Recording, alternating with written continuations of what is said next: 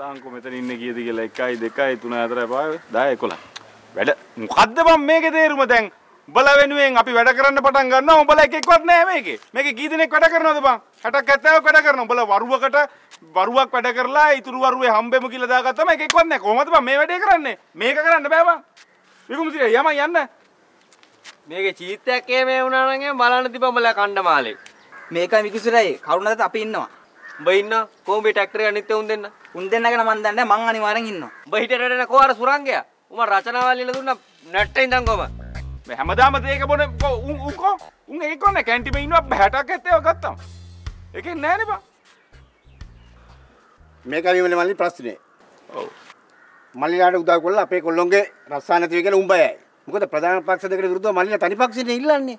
අපට සිරියේ මෙහෙමනේ තේනුවරයි දැන් අපි වෘත්තීය සමිතියක් පිහිටවා ගත්තනේ අතනදී අපේ ඕටි පෑ 100ක් කපනවා කියලා.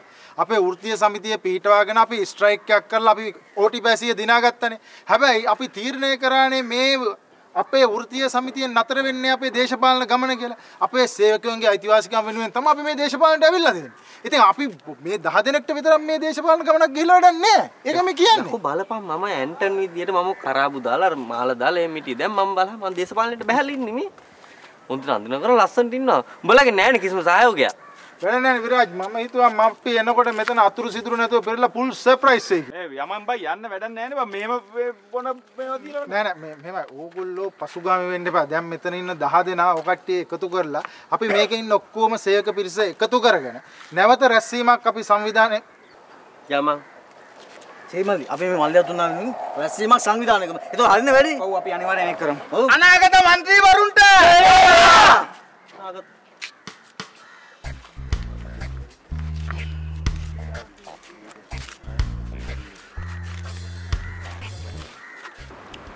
ඉලක්ෂ කියන්නේ අපේ පුවත්පතේ හිටපු ජේෂ්ඨ මාධ්‍යවේදී.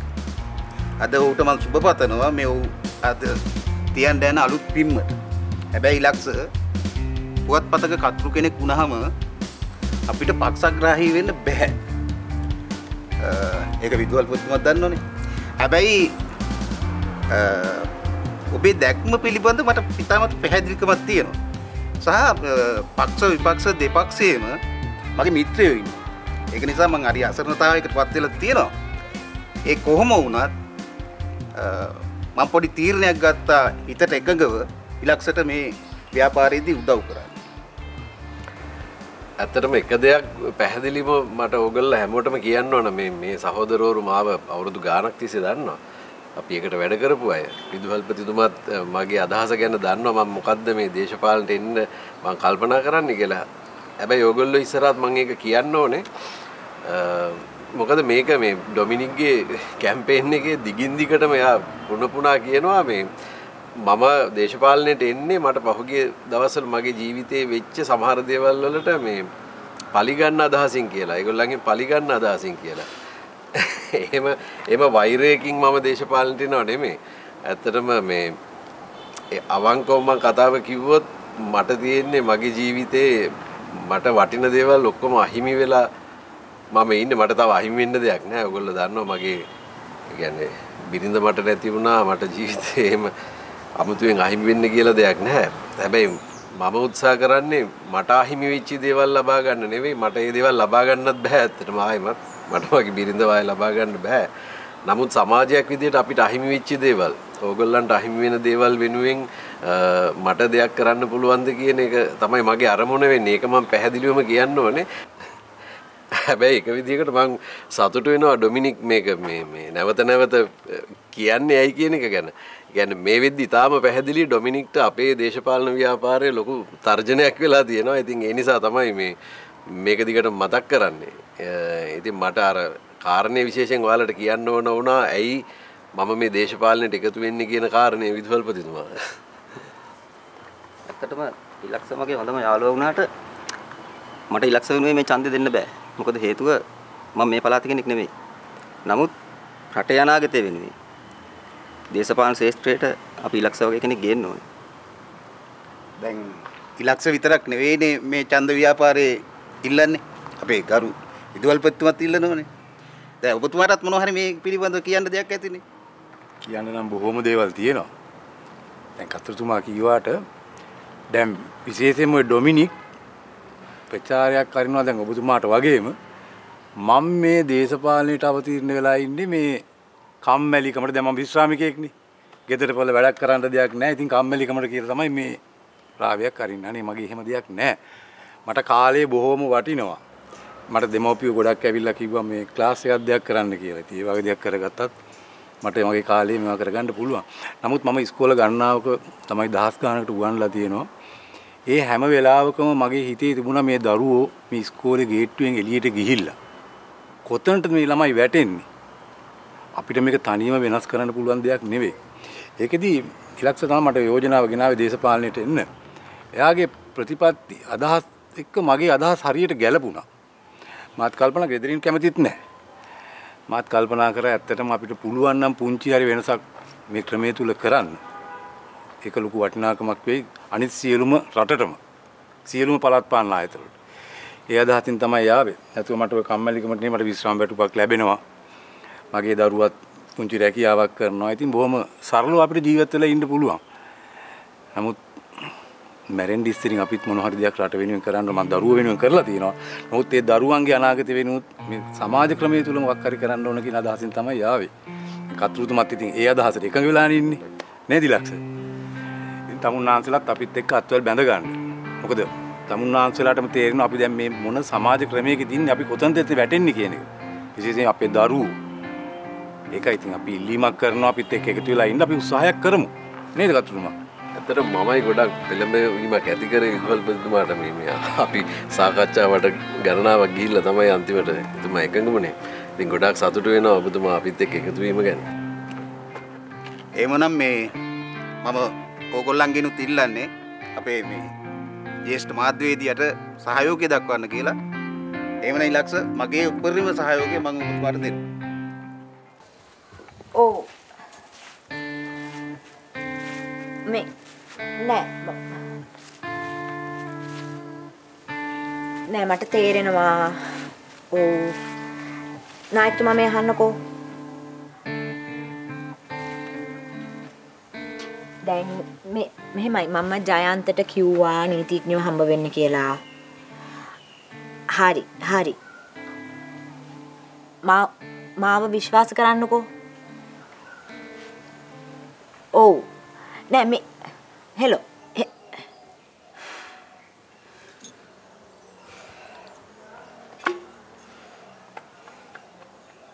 මට ඇහුණා. කෑ ගහනවා නේද?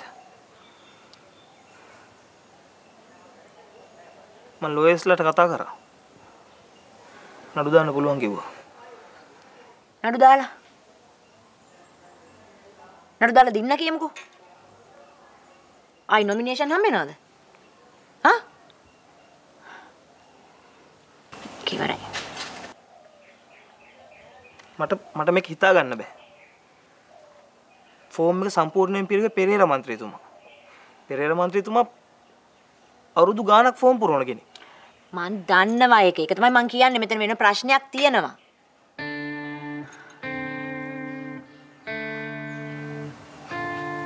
දැන් අපි මොකද කරන්නේ? දැන් කරන්න තියෙන එක දෙයයි ඉලක්ෂලව දිනවන්න අපිට උදව් කරන්න සිද්ධ වෙනවා. මැඩම් ඉලක්ෂලගේ පක්ෂෙත් දැනුම් තේරුම් තියෙන ඉන්නේ ඉලක්ෂයි. තව අර එන්ජු එක මිස් කෙනෙක් ඉන්නවා. ඔච්චරයි. අනිත් අය අර කුණු ටැක්ටරේ විකුම් සිරි ඇන්ටනුයි. උන්ට ඇපත් නෑ මැඩම්. ඉතින් උන්ට අප නැති වෙන හින්දානේ අපි උදව් කරන්නේ. පක්ෂයක් විදිහට අපිට තියෙන ස්ථාවරය ගැන අපිට විශ්වාසයක් තියෙනවනේ.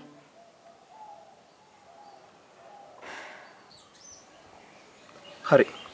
හරි අපි එහෙමත් කරා කියමුකෝ. ඉලක්ෂල දෙන්න කියමුකෝ. ඉන් පස්සේ ඉලක්ෂල අපේ පක්ෂයට ආවේ නැත්තම්.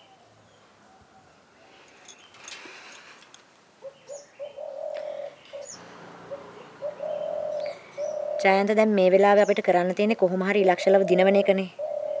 නැත්තම් මොකද වෙන්නේ? ඊළඟට එනවා පාර්ලිමේන්තු මැතිවරණය. ඒ ඡන්දෙදි මොකද වෙන්නේ? අපේ පක්ෂේ හඬ මේ නගරෙන් ගෙනියන්න කවුරුත් නැහනේ. හා? මැඩම්, ඒ උනාට මේක අපි දෙන්නට විතරක් ගන්න පුළුවන් තීරණයක් නෙමෙයි නේද? අපේ තව മന്ത്രിවරු ඉන්නවා. මධ්‍ය සමීති තියෙනවා. ඒ අයත් කැමති වෙන්න ඕනේ. ඔව්. ඒ අය කැමති වෙන්න ඕනේ. ඉතින් ඒකනේ ජයන්ත ඉන්නේ. හා? ජයන්තගේ උදව් මේ වෙලාවේ මට ඕන වෙන්නේ ඒකට. ජයන්ත ගිහිල්ලා මිනිස්සුන්ට කතා කරලා දේවල් තේරුම් කරලා දීලා මට කියන්න.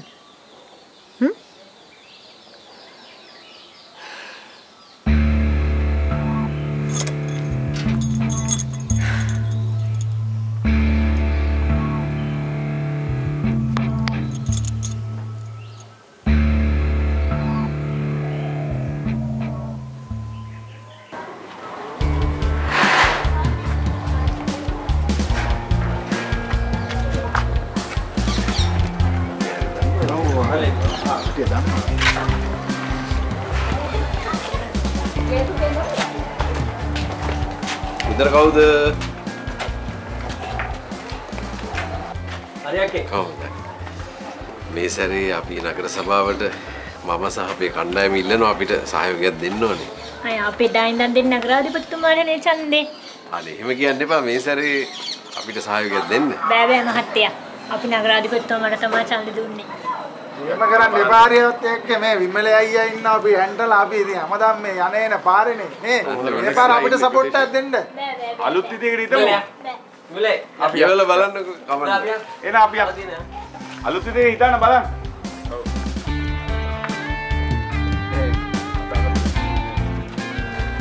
යන්තයේ ඔකේ.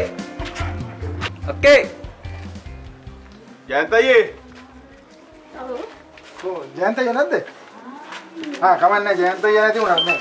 අපි මේ පාර මේ නගර සභාවේ ඡන්දෙට ඉදිරිපත් කරන මම අනිතා විමලේ අපේ අර ඉලක්ෂ මහත්තයා අපේ අර മന്ത്രിතුමා අපේ සාරින මන්ත්‍රීතුමා හෙලෝ ජයන්ත අයියා නැහැ කියලා අහුලන්නේ. හෙලෝ කොහොමද? ආයිබෝවන්. අපේ අභිනව නගරාධිපතිතුමා. මේ කතා කරන්නේ අපේ නගර සභාවේ හිටපු විපක්ෂ නායිකා විශාකා.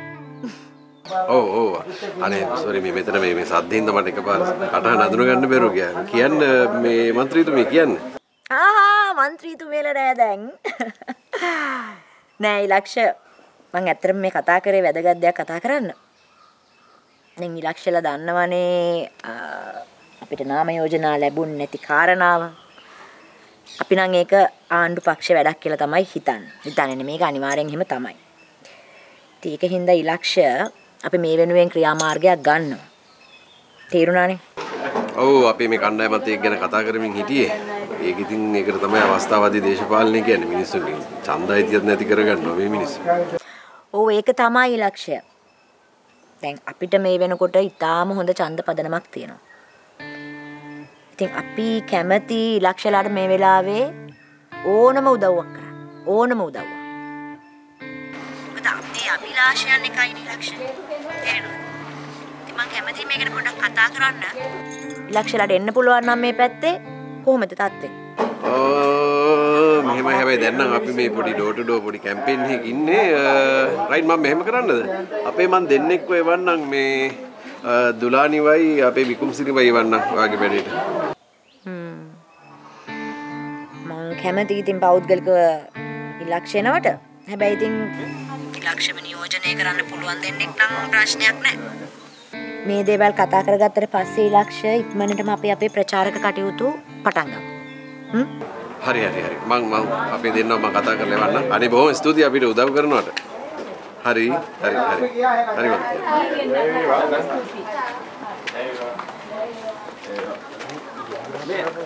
අන්න අර එතන හතර සුවර්. තම ගෙවල් පහකට ආ මේ මේ මේ පාර ඡන්දෙට ඉදිරිපත් කරන නගර සභාවේ අපේ මේ සෙට් එක තමයි අපේ සාරින මන්ත්‍රීතුමා ඉන්නවා මේ මහත්තයා ඉන්නවා. මමත් මේ සැරේ සහයෝගය දෙනවා නිලක්ෂ මහත්තයාට. හොඳ කණ්ඩායමක් දෙන්න. අපිට මේ සැර ඒකද වන්නේ ඒකද? ඈ? බොහොම ස්තුතියි. එහෙනම් අපි ගිහිල්ලා එන්න ජය අපි වේවා ටික ඔක්කොම අපිට දෙන්න.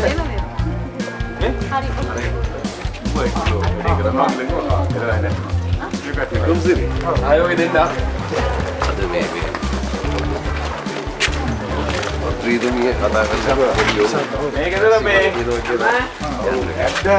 මම අනිත් එක්ක කතා කරනවා ආම මේක ගන්න අපි දන්න දෙන්න ඈ.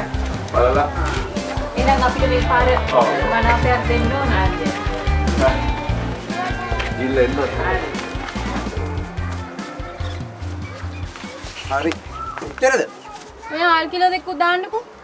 මේ හැබැයි මේ නතර කරලා තියෙන ණයට දීමු අනේ මුදලාලි විකුම්සිරට සල්ලි හම්බුණා මේ මාසේ අන්තිමට ඕක ගෙවලා දාන්නම්කෝ. දැනට පොතට දෙන්න ඉතින්. මාස තුනකින් ණය ගෙවලා නැහැ. ණය පොත පිරිලපන්. හරි හරි මුදලාලි. දැන් ඉතින් අපේ විකුම්සිරි ඡන්දෙ ඉල්ලනවානේ. විකුම්සිරි മന്ത്രി වුණාට පස්සේ අපිට සල්ලි දෝරේ ගලනවා. උට බලන්නකෝ. කවුද බන් දන්නේ ඕ වෙනවද කියලා? අනිත් එක ඌට පිස්සු. මේ උසාවියනෝ කියලා දෙනවනේ පිස්සු කියලා. පිස්සු නැත්තම් කවදාවත් මේ වත් එකේ ඡන්දිලයිද බං කට තියෙන පළියට දොඩවන්න එපා මුදලාලි. ඔන්නේ අම්මෝ කියන කයි කතන්දර. යකෝ වත්තට ඇවිල්ලා දවස් කීයද මේකේ කටේ සැර මං එහෙම තමයි. වැරද්දක් සිද්ධ වෙන්නේ කොහෙද? අසාධාරණයක් සිද්ධ වෙන්නේ කොතනද? මං ඒ වෙනුවෙන් පෙනී සිටිනවා. මං ඉස්කෝලේ යන කාලේ ඉඳලා එහෙමයි. හරි දැන් මොකද්ද වැරද්ද මොකද්ද අසාධාරණේ විකුම්සිරි මන්ත්‍රී වුණාට පස්සේ මං කියලා දෙන්නම්කෝ. මොකක්ද අසාධාරණේ මොකක්ද වැරද්ද කියලා? මොකද්ද බං ඒ කතාවේ තේරුම තේරුම? දැන් මේ කඩේ හැදලා තියෙන්නේ ආනවසර ඉදිකිරීමක් හැටියට නේද? දැන් බලන්නකෝ මේ කඩේ තියෙන්නේ පාරේ. පාර පටුයි. මුදලාලි කඩේ හදලා තියෙන පාර මැද්දට වෙන්න. අනිත් එකේ දිවාරි පණන් ගෙවන්නෙත් නෑනේ. විකුම්සිරි මන්ත්‍රී වුණාට පස්සේ ඌවා දැනගත්තාම ඉතින් කාට කාටත් පිස්සු හැදෙයි. ඕකට මන්ත්‍රී වෙන්න තියා ඕකට ඇපත් නැහැ අඩු ගාන උඹගේ තන්දේවත් නැහැ ආ මුදලාලි කොහොමද එහෙම හරියටම කියන්නේ? මුදලාලි මුදලාලිගේ බඩු ටික තියාගන්න. මං අර අල්ලපු කණෙන් බඩු ටික ගන්නම්. අපිට පිස්සුනේ. මන්ත්‍රී උනාම බලාගමුකෝ කාටද පිස්සු හැදෙන්නේ කියලා. හරි හරි හොතෙන් ගන්න ආව මෙතන ණයට ගන්න බලාගෙන ඉන්නකෝ මන්ත්‍රී වුණාම මොකද වෙන්නේ කියලා මුදලාලිට.